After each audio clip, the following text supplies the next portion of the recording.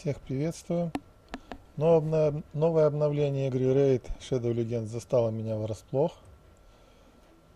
Я обновляюсь не с э, Google Play, меня, туда не, меня там не пускают. Вот. Ну, обо всем по порядку. А, Новый год начинается с обновления в Raid. Ну, это как бы уже не первое обновление, ну да ладно. Что появилось? Появились новые языки. Японский, корейский, турецкий. Ну, как бы для русскоязычных это не сильно актуально, да. И немного поправлены все тут проблемы по игре. Собственно, по мелочам, но все же еще 21 было обновление, что загрузить ходовые данные. Вот. Если что язык поменять можно вот в настройках, то есть кликайте на персонажа, язык, и вот здесь все ваши языки, которые есть, в том числе украинский или украинский, как правильно, но не суть. Хотел же я поговорить про то, как новичкам добраться до того, чтобы слить этого Николаса, а то и лучше. То есть вот награды новичка. Видно, что у меня только шестой день. А, после четвертого дня у вас уже будет комплект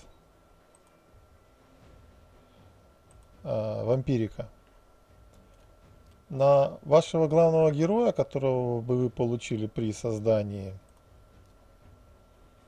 у меня это Галик ну, рисуйся, Галик. Вот. У меня это Галик. На него одеваете не тот комплект, который э, рекомендуется игрой. К примеру, на Галика рекомендуют крит и атаку. И, соответственно, на бронике, чтобы был атака процент, на сапогах скорость. Вот, то есть тут одеваю ее немного по-другому. Одеваем э, какие вещи есть на атаку. Да, что ж так медленно-то. На процент атаки. Соответственно, две вещи одеваем на процент атаки. У меня нет топора на процент атаки, топор просто на атаку. Вот. Соответственно, нас интересует атака, крит и четыре вещи, что есть э, из э, Вампирикс это. Он в русской версии называется Кража жизни. Вот закрыть все. Кража жизни. У меня еще осталось два неиспользованных. Один причем пятизвездочный. Но тоже просто атака, не, самый, не процентная. Здесь, по-моему, а, здесь защита. Атака не выпала здесь. Здесь здоровье. Ну, нормальный сет. Вот. И это позволит э, этому персонажу тащить всех остальных. То есть он может прокачивать всех, кто нужен нам для слияния. Еще раз сейчас заглянем сюда. Покажу, как у меня дела идут с Николасом. Все очень плохо тут. Вот. Я принцессу выбил. Но она мне понравилась, то есть я ее качнул в 4 звезды и, собственно, оставил себе. И как только я ее качнул в 4 звезды, тут оказалось, что для Николаса надо еще собирать принцессу. Вот. Ну и я, то есть больше всего там просидел в этом а, где там она выпадает, принцесса. А, замок, он так и называется как-то. Эта территория. Ну вот выбил только вторую принцессу, и в то же время там мне еще надо дворец Аравии, не замок все же. Это я с другой игрой путаю. То есть мне кроме принцессы... Нет, мстительница мне не нужна. Я что-то ошибся.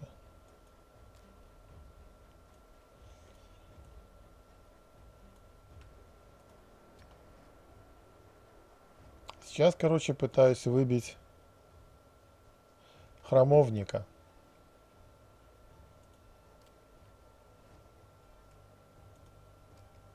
И по дороге именно прокачиваю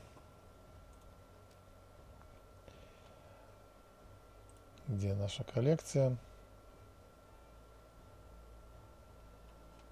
То есть каких-то 4-5 персонажей, чтобы они могли ходить за бутылками. Дальше прокачиваю вот эти, это вот э, уже то, что пойдет на Николаса. Они прокачались до 30 уровня. А после этого просто берем любого рандомного персонажа, желательно, я не знаю, с одинаковыми рожами, чтобы их легче было это самое запомнить. Вот таких или таких и выкачиваем им по максимуму звезды. Цель какая? Цель получить пятую звезду стартовому персонажу. То есть тому стартовому, с которого мы начали. Это позволит э, быстрее проходить, быстрее фармить эти локации. И, соответственно, то есть тогда уже быстрее выпадет э, зона. Ну и в данный момент он, допустим, у меня один не может пройти 12 локацию. То есть если пачкой они идут, то он 12 локацию чистит. Но таким образом фармить мне ее получается немножко неэффективно. То есть опыт улетает в трубу. А если вот он один идет в пролив Вальдемара,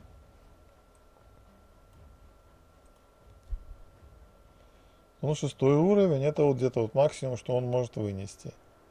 Себе на хвост он вешает троих, которые буквально в первом-втором раунде умирают.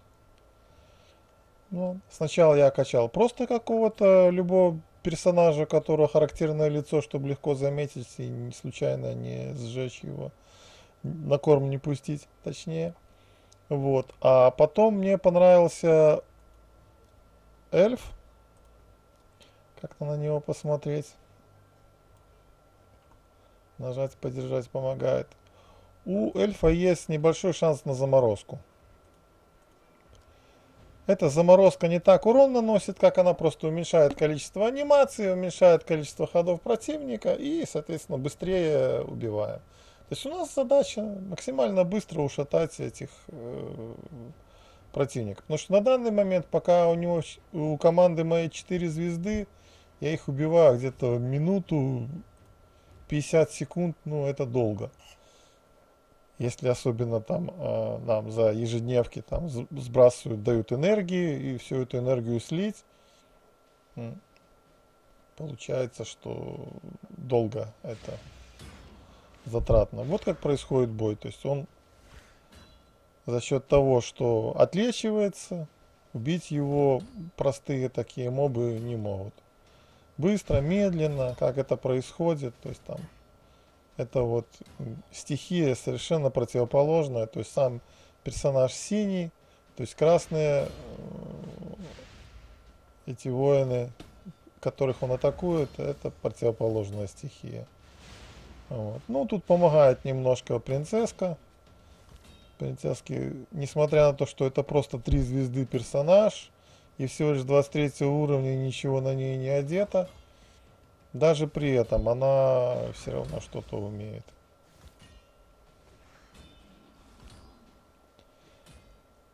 Ну а тут э, Галика это просто ждем, да, вот этот, когда взрыв из зада, главный скилл его срабатывает, и он тогда всех разносит. Так он красных очень медленно бьет. Но самый главный, самый жирный здесь персонаж, это 34 уровня палач, он как раз противоположной стихии, то есть он легкой стихии, и на нем э, это самое. Это мне показывают нового героя я получил, это хорошо. Вот сколько опыта, то есть 2756 э, на троих персонажей.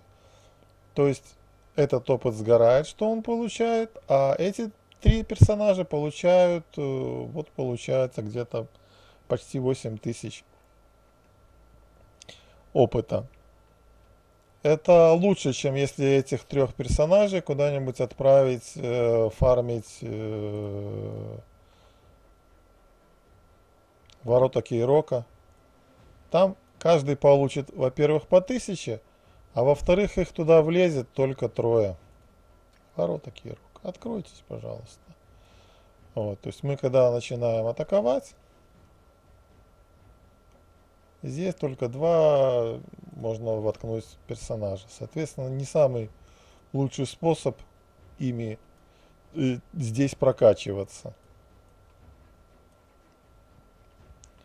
Вот, то есть, когда будет персонаж в 5 звезд,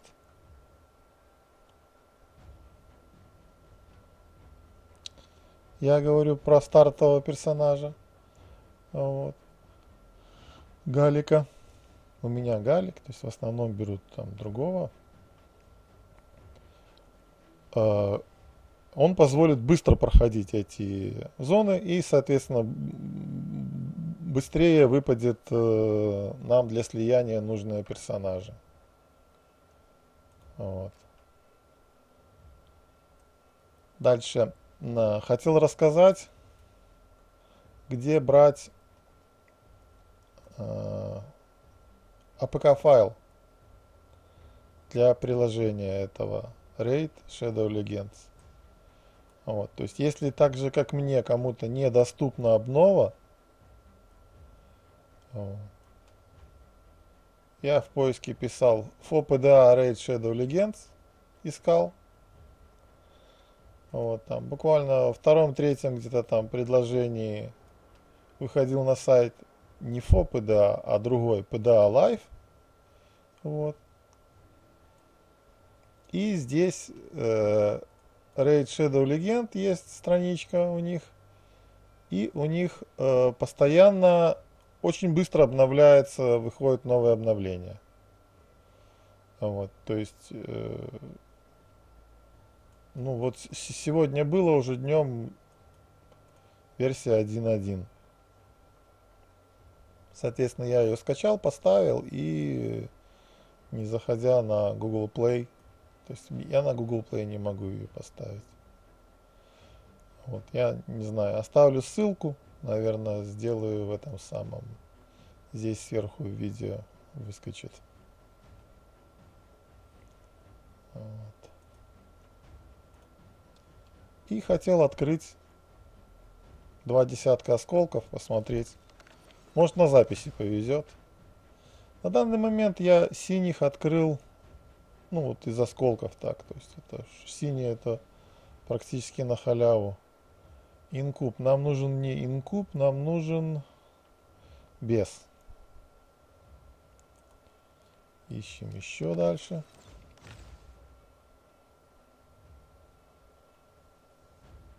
Ну вот выпал трехзвездочный синий герой. То есть когда записываешься на камеру, оно как-то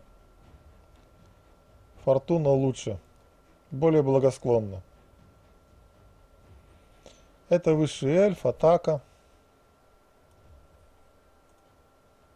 Ну, давайте уже посмотрим. Просто атака с критом. Атака с ядом. Ну, так это вот убийца боссов у нас. Атакует три раза. Каждый удар с вероятностью 35% накладывает яд 5%. Ну вот когда-нибудь будем его качать. Ну, сейчас хочется сосредоточиться все-таки